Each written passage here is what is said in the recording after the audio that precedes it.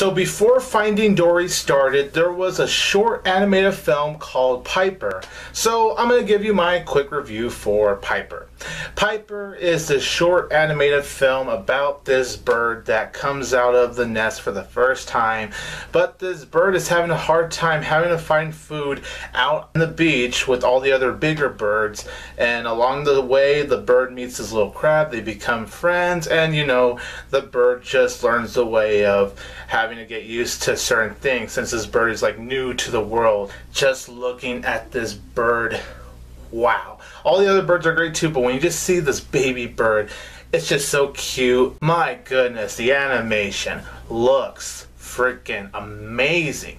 Like so much detail goes into the animation for Piper. It just looks so realistic. If someone told me they actually use an actual HD camera to film this movie, I would actually believe them. I would actually believe it as a live action thing rather than an animation thing because that's how gorgeous this short looks. The storyline is great. I love the writing for this short. It's just very beautiful to watch. It just screams Aww, because it's just so adorable. I honestly really loved this short. So I'm gonna give Piper an A minus.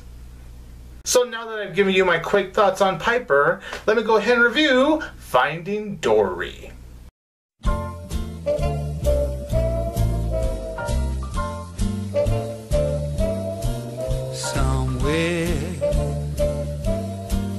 The sea, somewhere waiting for me. Hey there everybody, this is 22 Tiger Dude here and I am here to review Finding Dory. So Finding Dory is the sequel to the 2003 film Finding Nemo. And this time around with Finding Dory, Dory has flashbacks of her parents, but she doesn't exactly know where her parents are. So when Dory wants to go out find her own parents, she goes on an adventure. But of course, just like with what happened to Nemo and the original film, she does get taken away. So it's up to Marlin and Nemo to go find Dory. She bumps into this octopus named Hank. So along the way, she does get help from this octopus to go find Dory's parents. And and honestly, you guys, I was really looking forward to Finding Dory. This is my second most anticipated movie of 2016. I just couldn't wait for this film. Uh, just definitely a film I was very anticipated for because I truly did love 2003's Finding Nemo. I consider that one of Pixar's greatest films, one of the best animated films in general.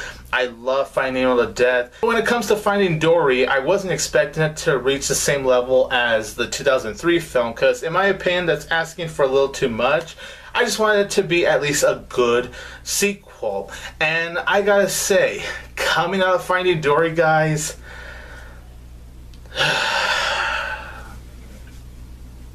I'm not gonna lie, guys. I came out of Finding Dory very, very happy. I had so much joy watching Finding Dory, guys. I really had such a very good time watching this film. So let's go ahead and start off with the animation because just like with any Pixar movie, the animation is beautiful. There's just so much detail into the animation. It looks just as beautiful. It captures just the beauty of the ocean and even out of the ocean like with the 2003 film. Wow, the animation is just so beautiful, so colorful, so vibrant, and it just shows why Pixar is truly tremendous when it comes to their animation because wow. Ellen DeGeneres as Dory, she does a really great job. It's so awesome to hear Ellen DeGeneres. And the one thing Pixar has always been great at is casting someone to do a voice character. Like, even though they use their same exact voice for that character, when you hear that character, you don't see that person in a studio voicing it. You actually see that character, and that is no exception with Finding Dory. Ellen DeGeneres, yes, even if it's Ellen DeGeneres using her voice, I don't see Ellen DeGeneres voicing in a studio. I actually see Dory, and she does a really great job. And I loved Dory here. She truly does work for the main character because, you know, in the original, she was a side character where she did have a lot of comic relief, which was what made the first film so great.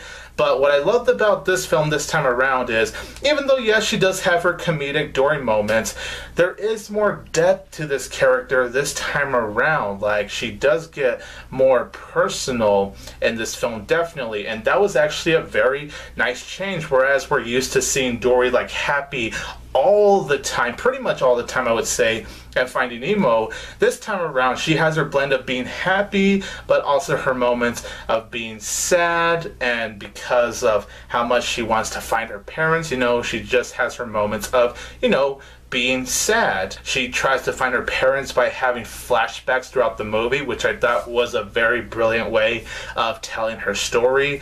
And it just makes the adventure just so great when you follow Dory. And of course, you know, I might get to Ed O'Neill later on, but the adventure she has with Hank the octopus, I thought the movie handled their dynamic very well. Albert Brooks is back as Marlin, and it's so great to hear him as Marlin again because, man, Albert Brooks, like with Ellen, he uses his regular voice. He just fits that character like so freaking perfectly. And it's cool to see that Marlin still has that worried personality like in the original film. He's always worried about Nemo. Now, this time around, he's always worried about Nemo or some of the situations that him and Nemo get into throughout the film. And Nemo is voiced by, of course, a different actor because, of course, the voice actor that voiced Nemo in the first film is grown up by now. So I have to give credit to the new kid. I forgot the name, but I thought the new kid that voiced Nemo did a great job.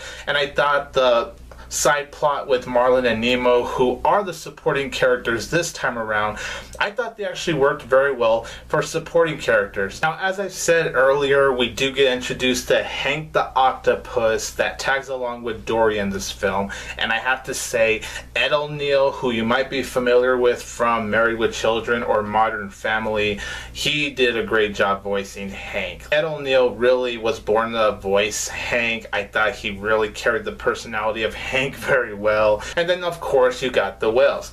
You have Ty Burrell that voices Bailey, and then you have Kaitlin Olson that voices Destiny. I thought these two did a great job with their roles. They were both very funny, they were both very entertaining. Especially when I see Bailey for the first time, I couldn't stop laughing, honestly. There were definitely some moments in Finding Dory where I just couldn't stop laughing. But Destiny is the whale, I guess you could say, got Dory to speaking well because you know, Dory was speaking well in the first film, and she said how she had a whale friend. And well, in this film, apparently, we now have met that whale friend, which I thought was interesting. Idris Elba and Dominic West both kill it as the sea lions. I freaking love the sea lions. Just such memorable and entertaining characters. And Idris Elba, my goodness, this man is killing it with animated movies. With him voicing Chief Bogo in Zootopia, Shere Khan in The Jungle Book, and now um, I believe it's Fluke, the sea lion, here in this film. Idris Elba just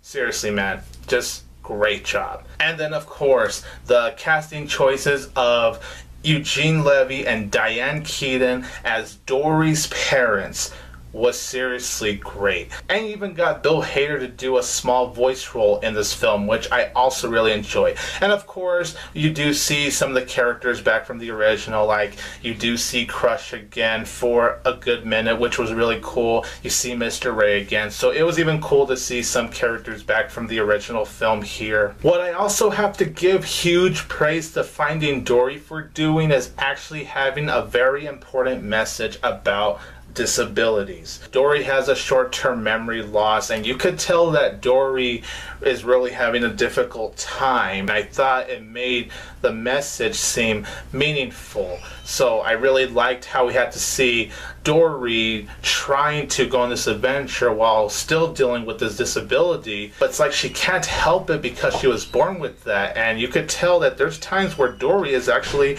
really frustrated having that disability. So it felt like a very personal journey for Dory, not only for her to find her parents, but for her to find her parents, but with her dealing with such a difficult disability. Andrew Stanton does such a great job directing this film. With him directing Finding Nemo, he's the guy that I think should return if there was ever going to be a Finding Nemo sequel. And it's definitely a really great thing because Andrew Stanton is definitely one of the best directors working for Pixar. The writing for the film with him as well as other writers, I thought they did a really good job writing the story for Dory and Marlin and Nemo, and then for us to get these segments with these side characters, but also creating for a blend of nice heartwarming moments and nice comedic moments. There's a good blend of heart and comedy in Finding Dory. When the movie goes for comedy, for the most part, it absolutely hits for me. And then when the movie does get serious, it's honestly very well done. Is how the movie opens with baby Dory and her parents. Then we see Dory grow from like a teenager to her being a, her grown self to her meeting Marlin from the original Finding Nemo. Then from there, it cuts one year later. That was a great way to open Finding Dory, and I really loved that. But there's also other genuine moments in this film that were great. Not spoiling anything, but once Dory does actually find her parents, yeah, I'm not gonna lie, I almost cried during that scene. I love the score in this film as well. Like, it does keep some of the music that you hear from Finding Nemo, maybe change it around this time around, but it's still basically the same.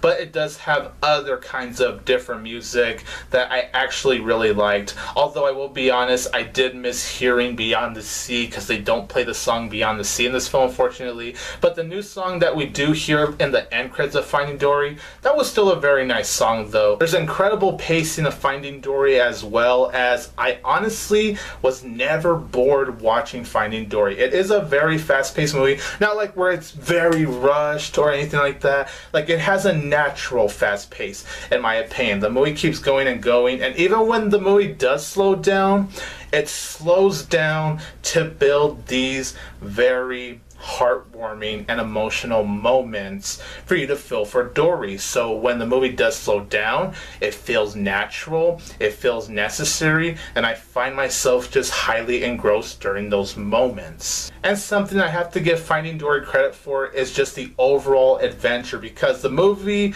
really the adventure is set in only one location, which is the Marine Institute, whereas Finding Nemo, the adventure is so much more grand. But Finding Dory went a little bit more simpler this time around. Just because you have a sequel, bigger doesn't always have to mean better. And this time around, Finding Dory went a little more simpler with the adventure, but there's still enough of the adventure for me to just really, really enjoy. And I have to say, I actually really like the final act of Finding Dory. I know there's criticism saying that it gets way, way too realistic. You have to suspend your disbelief. Um, honestly, would you have to suspend your disbelief? Yeah, sure. But honestly, for me, that wasn't really hard to do. I actually really enjoyed how a little over the top the third act goes. Well, I would say honestly, it does get really over the top, but it actually didn't take away my enjoyment of the film. I was actually really, really enjoying the third act of the movie. It, it just created for some of the most funniest moments, honestly, and Finding Dory, and I just thought the third act was honestly very entertaining, how it went for more of that action-packed vibe, like it does kind of come out of nowhere, but I think, in my opinion, it actually worked that the movie went in that direction for the climax. I actually had a blast with the climax. But then again, this is coming from the guy that actually liked Cars 2. And that movie definitely had ridiculous moments, so yeah.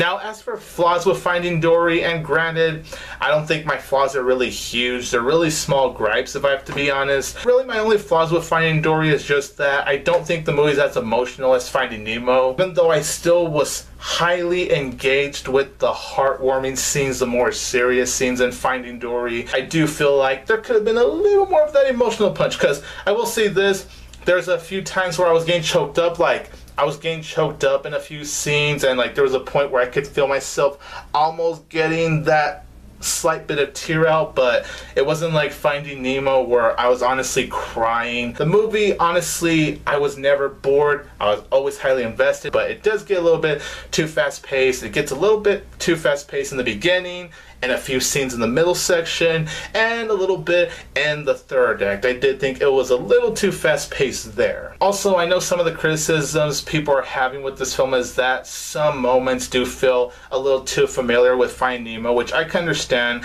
Um, personally, I only have one scene that I did feel like was honestly way too familiar with Finding Nemo, and that was when Dory gets taken. However, Marlin does make a line saying, Not again! So I actually did think that was funny, but yeah, that moment, a little too familiar from Finding Nemo, in my opinion. And really, my final small flaw with Finding Dory is that how Dory does find her parents, no spoilers, it does feel a little too convenient. Overall, you guys, Finding Dory is fantastic. I love this movie. This is, hands down, one of the best movies of 2016. Pixar, wow. Just wow. They hit it out of the park with this film. And this film just brought me so much joy. Now, of course, the question everyone's going to ask is, is as good as Finding Nemo? No, I don't think so. It's pretty darn close, however, I will say that. But I still love Finding Dory because it just stood on its own. Uh, surprisingly, for this being a sequel, it didn't really rely too much with the first, like having to connect with the first. There are definitely things that they mention from the first or connect with the first, but I say really for the most part, the film really stands on its own. This is definitely one of the best films of 2016, and I'm going to give Finding Dory three and a half out of four stars. Also, don't forget to stay until the end credits because there is an end credits scene here in Finding Dory and it is awesome and that definitely brought so much joy to me. So you guys, just like with my movie review for Central Intelligence, I did ask you on my Facebook and Twitter to guess my rating for Finding Dory, and if you guessed it right, you're gonna get a shout out here in this movie review. So the people that got my rating right on Facebook are Adam Haskell, Zoe Bromedge, and G. Colby Porter. Adam does have a channel, so if you guys want to check it out, I'm going to leave a link in the description down below. And for Twitter, the shoutouts go to once again, Adam Haskell, he guessed it on Twitter as well. Nate Plouffe, aka Stupid Beagle Reviews, great channel, great guy. I'm gonna leave a link to his channel in the description down below. Thomas Bladlock and cow. And if you guys don't follow me on Facebook and Twitter, I'll leave a link to those as well. This is 22 Tiger Dude here, and don't forget that I will always have tiger power. Just keep swimming, just keep swimming, just keep swimming, swimming, swimming, swimming.